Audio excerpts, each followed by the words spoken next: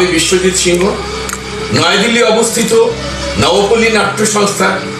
আমি নাট্যকার, নাট্য নির্দেশক ও একজন নাট্যশিল্পী।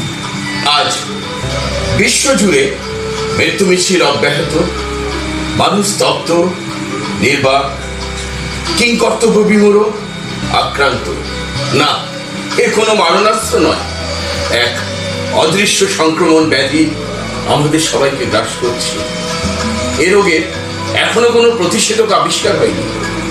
ইতিমধ্যে গোটা বিশ্বে মৃত্যু হয়েছে আড়াই লক্ষের বেশি মানুষের। আক্রান্ত প্রায় পঁয়ত্রিশ লক্ষ। এ উদ্বেগের বিষয়।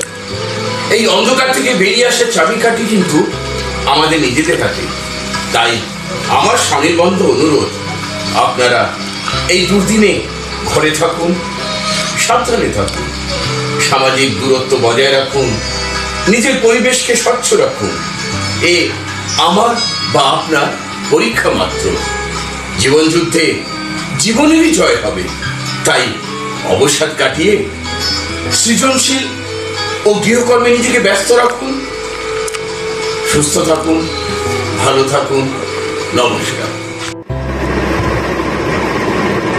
আমি প্রতিভাস নাট- নাট্যগোষ্ঠী চট্টগ্রামের একজন নাট্যকর্মী সেই সাতাশি পরবর্তী সময় থেকে চট্টগ্রামে মঞ্চ নাটকের সাথে জড়িত। এর সাথেও প্রমাণ আবৃত্তি সংসদের সাথে ছিলাম। আসলে এখন হয়তো ওদের সাথে মঞ্চে নেই, কিন্তু মঞ্চের বাইরেও আছি। এখনও সংস্কৃতির সাথে আছি। এই করোনা কালে যেটা আমাদের সবচেয়ে আগে করতে হবে সেটা হচ্ছে আমার সচেতন হতে হবে। আমি আমার জন্য সাবধান হতে হবে। আমি আমাকে বাঁচানোর জন্য দূরত্বটা বজায় রাখতে হবে। সামাজিক দূরত্ব খুবই প্রয়োজন।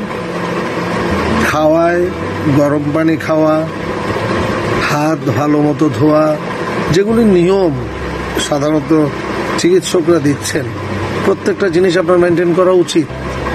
করোনায় অযথা যেখানে সেখানে হাঁটা উচিত না, যেখানে সেখানে যাওয়া উচিত না, মার্কেটে যাওয়া বা অন্য যেখানেই যান, এগুলি থেকে মুক্ত থাকুন।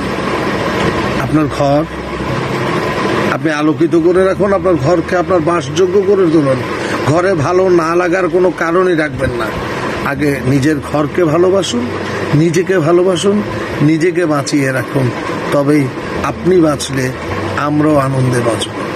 প্রতিটা মানুষ বাঁচলেই আরেকটা মানুষ তার সুখী জীবন যাপন করতে পারে। তাই বলব, করোনাকে ভয় পাবেন না, তবে অত হালকাভাবেও নেবেন না। করোনাতে আপনাকে প্রয়োজন করোনা মোকাবেলায় সবাইকে দরকার, করোনা রোগী হতে কেউ যাবেন না। করোনাকে দূর করার জন্য সহযোগিতা এগিয়ে আসে সবাই। ধন্যবাদ সবাইকে। সেলিম আক্তার প্রিয়া নমস্কার। ত্রিপুরা থেকে আমি শিল্পী। এমন পরিস্থিতিতে কি বলব সত্যি বুঝে উঠতে পারছি না। জানি সবার মানসিকতা ভেঙে পড়ছে।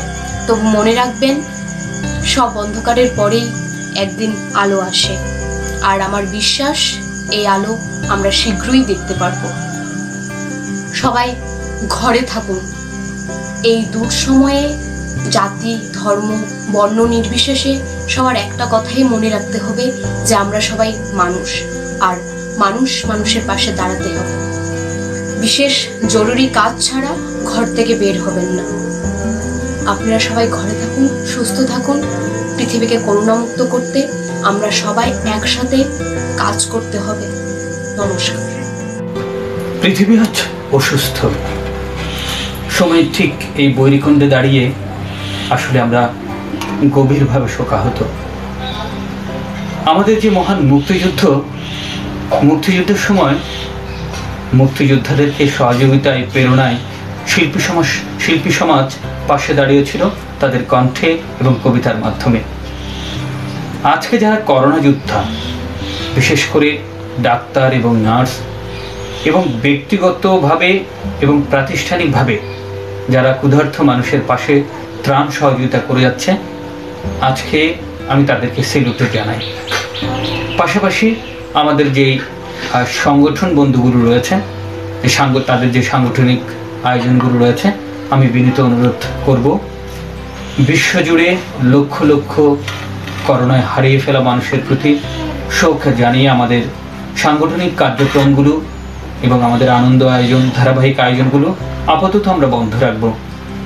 আমাদের আয়োজনে থাকবে করোনায় হারিয়ে ফেলা মানুষের প্রতি শোক প্রকাশ এবং ক্ষুধার্থ মানুষের পাশে থাকার আবেদনমূলক প্রচারণার অনুষ্ঠান। হোক সেটা অনলাইন আয়োজন। পরিশেষে আজকে আমাদের কথা তুলে দেওয়ার জন্য যারা আয়োজক রয়েছে, তাদের প্রতি কৃতজ্ঞতা প্রকাশ করছি এবং কামনা করছি পৃথিবী দ্রুত সুস্থ হয়ে উঠুক। সকলের সুস্থতা কামনা করছি। ধন্যবাদ সবাইকে। হাই ফ্রেন্ডস আমি এখন আপনাদের করোনা ভাইরাস সম্পর্কে কিছু বলব। দেখেন করোনা ভাইরাস আমাদের দেশের খুব খারাপ অবস্থা করে ফেলছে। তাই আমরা খুব সচেতন থাকব এবং মাননীয় প্রধানমন্ত্রীর স্বাস্থ্যবিধিগুলো মেনে চলব এবং বিশেষ প্রয়োজন ছাড়া বাইরে বের হব না। যদি বের হয়, তাইলে মাস্ক পরে বের হব এবং বাইরে থেকে আসার পর হাত স্যানিটাইজ করব এবং হাতটা অন্তত পক্ষে বিশ সেকেন্ড করে ধোবো। তারপর হচ্ছে ভিটামিন সি যুক্ত খাবার খাব। যেমন লেবু, কমলা সিবিট এরকম জাতীয় খাবারগুলো খাব। তারপর বেশি বেশি গরম জিনিস খাব। এবং ভয় নয়, করোনাকে জয় করব আমরা। বাই ফ্রেন্ড ভালোবাসি ভালোবাসি সুরে কাছে, দূরে, জলে। স্থলে বাজা বাজায় বাসি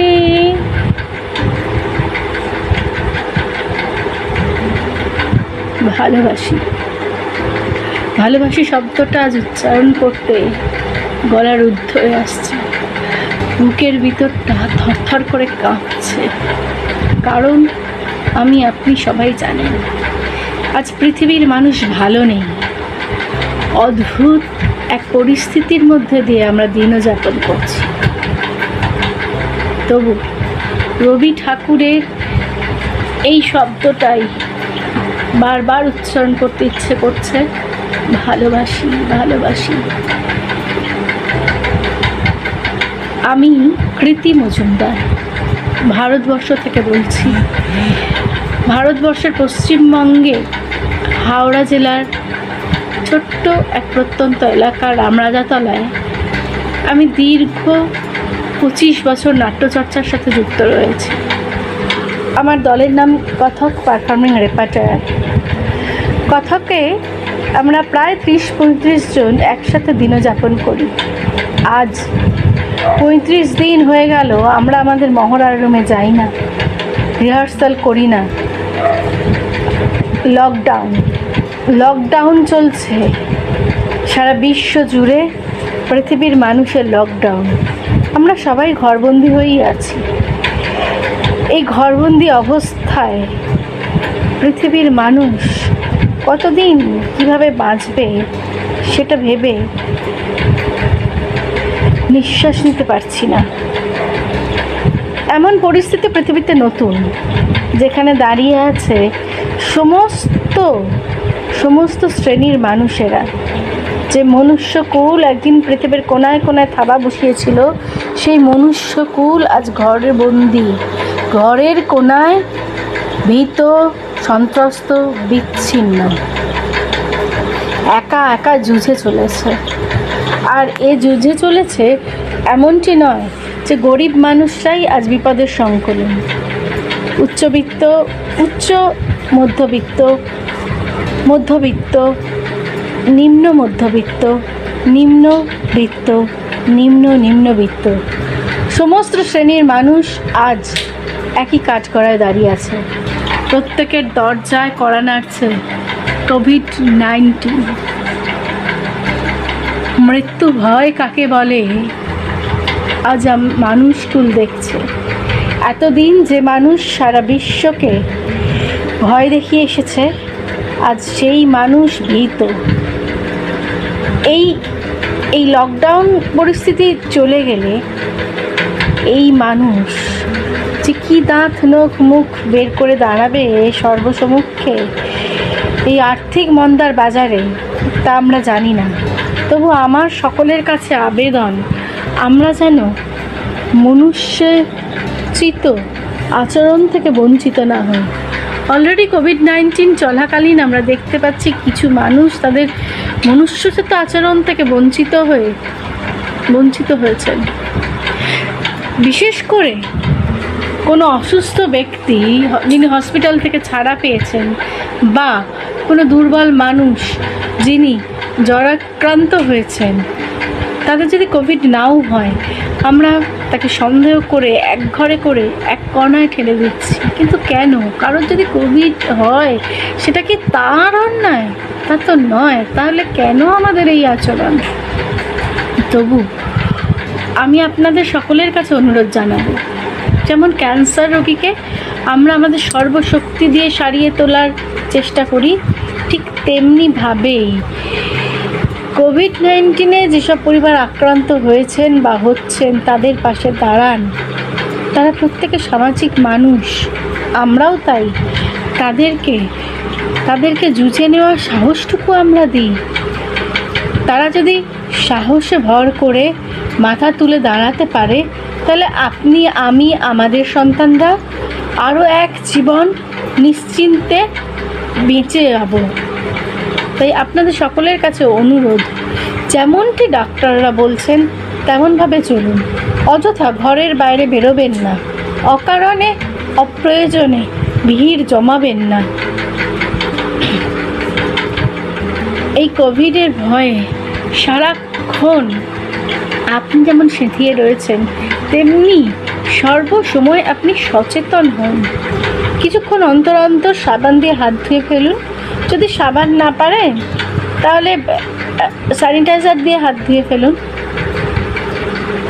আর একটা অনুরোধ, ধরে নিন কাল লকডাউন উঠে গেল। তবুও আপনি কিন্তু নিরাপদ হলেন না। আপনি রাস্তায় বেরোনোর সময় আপনার নিজের সুরক্ষা, নিজেই সাথে নিয়ে বেরোন। মুখে মাস্ক হাতে গ্লাভস সর্বক্ষণ রাখুন। স্যানিটাইজারের একটা ছোট্ট শিশি পকেটে রেখে দিন। এ বিশ্বকে এই শিশুর বাসযোগ্য করে যাওয়ার যে অঙ্গীকার আমরা একদিন করেছিলাম, আবার একবার তো স্মরণ করি।